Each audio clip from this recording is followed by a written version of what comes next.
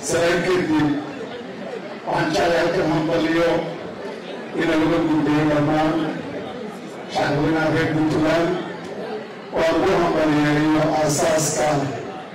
dowladda puntland lix labaatan sanadii guulada ka soo wareegtay maanta oo ah kowda august laba kun afar iyo labaatan ana u rajeeyo sanadkankiisa inay ku gaaraan barwaaqo horumar nabadgeliyo iyo midnimo intaa kadib puntland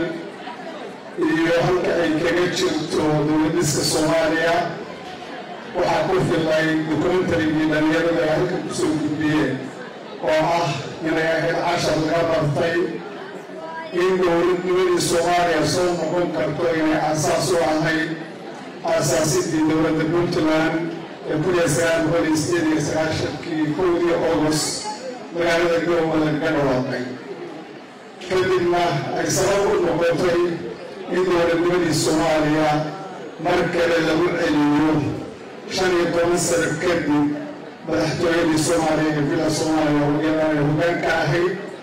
ee dowladda puntland waxay kaloo runtii saldhig u ahayd maamuladii samaysmay goboleedyadii soomaaliyeed dhammaantood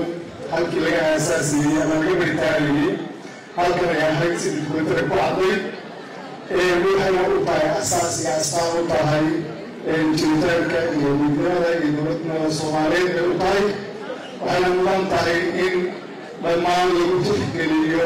lagana mahadnoqo ana laga abaadicina lagu abaalgudo wixii ay tartay ummadda soomaaliyeed. Waxaan qabaa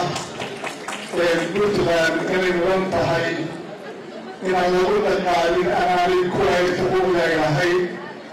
aragti duwanaan ama lagu kala aragti duwanaan hogaan markaa jira marka la qiimeeyo abaaladaa badan weli ay soomaali la soo martay iyo halka ay kaga jirto aanay mudan tahay in la abaalmaray intaa kadib waxaan jeclaa ugu hambaliyeeyo dowladda puntland doorashooyinkii golaha deegaanka ay dhamaystireen saddex iyo labaatankii bishii la soo dhaafay july oo iyaduna astaan u horumar u weyn oo ah in dadka la weydiiyo codkooda